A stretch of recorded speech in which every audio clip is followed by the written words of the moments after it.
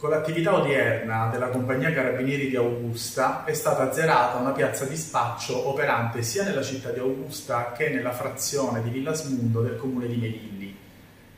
Gli spacciatori si rifornivano dello stupefacente nella città di Catania e lo distribuivano porta a porta, utilizzando anche le cassette della posta come luogo di scambio. Quando gli assuntori non avevano disponibilità di contanti, utilizzavano quale pegno la carta del reddito di cittadinanza.